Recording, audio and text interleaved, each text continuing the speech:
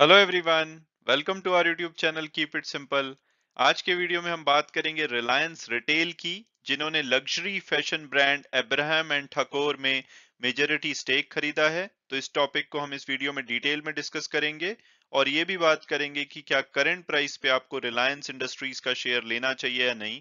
और आगे बढ़ने से पहले अगर आपने अभी तक चैनल को सब्सक्राइब नहीं किया तो प्लीज़ सब्सक्राइब करके हमें मोटिवेट कीजिए। तो सबसे पहले अगर बात की जाए रिलायंस रिटेल की तो ये भारत के लार्जेस्ट ऑर्गेनाइज्ड रिटेलर हैं चाहे वो रेवेन्यू की टर्म्स में हो या स्टोर नेटवर्क की।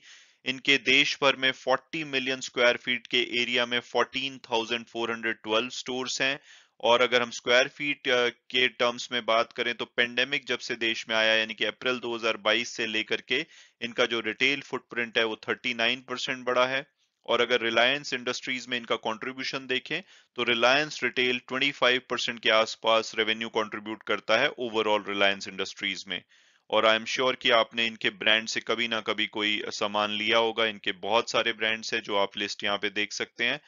और अगर इनकी कोर रिटेल कैटेगरीज की बात करें, जहाँ से इनका 57 परसेंट रेवेन्यू आता है, और उसमें से ग्रोसरी इनका 21.2 परसेंट कॉन्ट्रीब्यूट करती है कंज्यूमर इलेक्ट्रॉनिक 27.4 परसेंट और फ़ैशन इनका 8.3 परसेंट इसके अलावा नॉन कोर रिटेल कैटेगरीज की बात की जाए, जहाँ से इनका 43 परसेंट रेवेन्यू आता है, उसमें मेजोरिटी आता है कनेक्टिविटी से, क्योंकि ये जियो सर्विसेज़ के मास्टर डिस्ट्रीब्यूटर हैं, चाहे आपको जियो रिचार्ज कराना हो कस्टमर एक्विजिशन करना हो तो जियो जो सर्विसेज़ से इनका रेवेन्यू आता है, वो 34.3 परसेंट है। और इसके अलावा इनके पेट्रोकेमिकल के भी रिटेलिंग प्रोडक्ट्स हैं, जैसे कि फ्यूल स्टेशन वगैरह हैं। तो वहाँ से इनका 8.7 परसेंट रेवेन्यू आता है रिलायंस रिटेल में। और आप देखेंगे कि फरवरी 2019 के बाद से ये जो इनके एक्विजिशन है दिसंबर 2021 तक का डेटा है तो आपने देखा होगा कि कितने सारे इन्होंने एक्विजिशन किए हैं डिफरेंट फील्ड्स में। और इवन दिस क्वार्टर में भी बात की जाए, यानी कि जनवरी से मार्च वाले क्वार्टर की तो ऑलरेडी ये एडवर्ब उसके बाद एल टी ग्रीन और अभी इन्होंने फ्यूचर रिटेल के जो बिग बाज़ार वगैरह वाले स्टोर्स हैं, उनको भी एक्वायर किया है। तो ये बहुत ही मैसिवली ग्रो कर रहे हैं। और अब अगर बात की जाए अब्राहम एंड ठकोर की तो ये भारत के one of the most successful और रिस्पेक्टेड डिज़ाइनर ब्रांड हैं। फ़ैशन एक्सेसरीज और होम टेक्सटाइल प्रोडक्ट्स आते हैं इनके। जो इनका डिज़ाइन लेबल है, ये उन्नीस सौ बानवे में एस्टेब्लिश किया गया था। डेविड अब्राहम और राकेश ठकोर जो कि नेशनल इंस्टीट्यूट ऑफ़ डिज़ाइन के ग्रेजुएट्स थे, इन्होंने इसको स्टार्ट किया था। और बाद में इसको केविन निचली जो कि एक डिज़ाइन ग्रेजुएट थे एनआईएफटी दिल्ली से, उन्होंने इसको ज्वाइन किया था, जिनको कि बाद में ये भी बोला जाता था कि अब्राहम एंड ठकोर में जो एंड है, वो केविन निचली हैं। और जो अब्राहम एंड ठकोर ने जो अपनी स्टार्टिंग की थी, वो लाउंज वेयर और होम कलेक्शन से करी थी।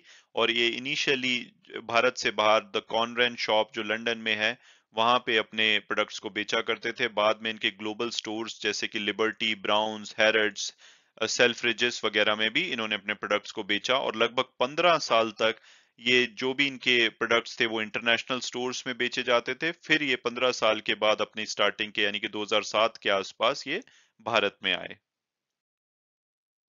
और अब अगर बात की जाए लेटेस्ट डेवलपमेंट की तो रिलायंस रिटेल वेंचर्स लिमिटेड जो कि रिलायंस इंडस्ट्रीज़ की एक सब्सिडरी कंपनी है, उन्होंने कल यानी कि एक मार्च को अनाउंस किया है कि ये home grown designer brand Abraham and Thakore export private limited में मेजोरिटी स्टेक एक्वायर करेंगे और इस स्टेक के लिए कितना पैसा देंगे, उसको डिस्क्लोज नहीं किया गया है। यानी कि अनडिस्क्लोज अमाउंट पे ये अब्राहम एंड ठकोर में मेजोरिटी स्टेक एक्वायर करेंगे। और इस इन्वेस्टमेंट का जो पर्पस है, वो ये है कि ये इस ब्रांड की जो ग्लोबल अपील है, उसको बिल्ड करना चाहते हैं फ़ैशन और लाइफस्टाइल मार्केट में। हालाँकि रिलायंस रिटेल के पास मेजोरिटी स्टेक होगा, लेकिन जो द डिज़ाइन ट्रियो है डेविड अब्राहम राकेश ठकोर और केविन निजली ये कंटिन्यू करेंगे इस ब्रांड को लीड करना। और इसके अलावा पीछे अगर हम कुछ सालों की बात करें तो रिलायंस ने फ़ैशन में बहुत सारी बड़ी इन्वेस्टमेंट करी है, जैसे कि सत्या पॉल में ऋतु कुमार, राघवेंद्रा राठौर ए के ओके और मनीष मल्होत्रा जैसे इन्होंने फ़ैशन ब्रांड्स में इन्वेस्टमेंट करी है। और अब अगर बात की जाए कि क्या करंट प्राइस पे हमें रिलायंस इंडस्ट्रीज़ का शेयर लेना चाहिए या नहीं तो सबसे पहले अगर इसकी पास्ट परफॉर्मेंस देखी जाए तो तीन साल में इन्होंने 93 परसेंट की अमेजिंग रिटर्न दी है। पिछले एक साल में भी 13 परसेंट के आसपास की रिटर्न रही है। हालाँकि एक जनवरी से इनका शेयर खास नहीं चला है, इन्होंने माइनस पॉइंट परसेंट की रिटर्न दी है क्योंकि इस टाइम पे हमारी मार्केट भी काफ़ी करेक्ट हुई है तो उस वजह से इनके शेयर में भी दबाव देखा गया है। इसके अलावा अगर डिविडेंड की बात की जाए तो कंपनी खास डिविडेंड पे नहीं करती, इनके डिविडेंड यील्ड काफ़ी कम है पॉइंट थ्री परसेंट के आसपास है। जितना भी पैसा कंपनी कमाती है, वो अपनी ग्रोथ और डेट कम करने में यूज़ करती है। और अगर टिकर टेप के प्रोडक्टिव एनालिसिस को देखा जाए तो वो इसका एवरेज टारगेट प्राइस 2780 के आसपास बताते हैं। हायर साइड पे 3038 और लोअर साइड पे 1825 और जो मंडे की क्लोजिंग हुई थी, वो 2360 के आसपास हुई है तो इस हिसाब से अभी अपने एवरेज टारगेट प्राइस से काफ़ी नीचे पे अवेलेबल है तो प्राइसिंग डेफिनेटली अट्रैक्टिव है। और अगर इसके फंडामेंटल और पीयर्स एनालिसिस को देखा जाए तो ये भारत की लार्जेस्ट कंपनी है। मार्केट कैपिटलाइजेशन के हिसाब से पंद्रह लाख छियानवे हज़ार करोड़ का मार्केट कैपिटलाइजेशन है। और पी और पीबी रेशो देखी जाए तो उस हिसाब से भी काफ़ी अट्रैक्टिव लगती है। रिटर्न ऑन इक्विटी इनकी सेवन परसेंट के आसपास है। इसके अलावा प्रॉफिटेबल कंपनी है और इकलौती कंपनी है भारत की, जो कि एक साल में पचास हज़ार करोड़ से ज़्यादा का प्रॉफिट कमाती है। तो अगर मेरी पर्सनल ओपिनियन पूछी जाए तो मुझे इस शेयर में काफ़ी भरोसा है। जैसे कि मैंने पिछले कुछ वीडियोस में भी बोला है कि अगर मेरे पास ऑप्शन हो कि मैं एक ही शेयर ले सकता हूँ तो शायद वो रिलायंस इंडस्ट्रीज़ होगा। और उसके पीछे की अगर वजह की बात की जाए तो इनके अगर कोर बिजनेसेस की बात करें तो इनका मेन बिज़नेस है ऑयल टू केमिकल जहाँ से इनका 56 परसेंट रेवेन्यू आता है। वहाँ पे पेट्रोकेमिकल्स प्रोडक्ट्स में ये नंबर वन है रिफाइनरी में नंबर टू प्लेयर्स हैं।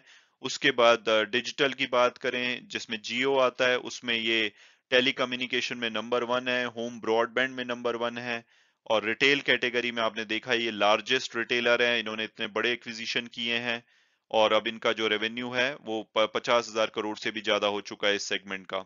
और चौथा सेगमेंट जिसपे की कंपनी आने वाले टाइम में फोकस करने वाली है, वो है ग्रीन एनर्जी सेगमेंट और इसमें कंपनी तीन साल में 10 बिलियन की इन्वेस्टमेंट करेगी और ओवरऑल अगले 10 सालों में 75 बिलियन तक की इन्वेस्टमेंट करेगी।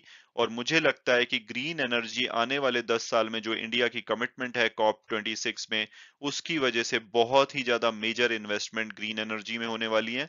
तो उसमें भी ये एक बड़े प्लेयर उभर कर निकल सकते हैं।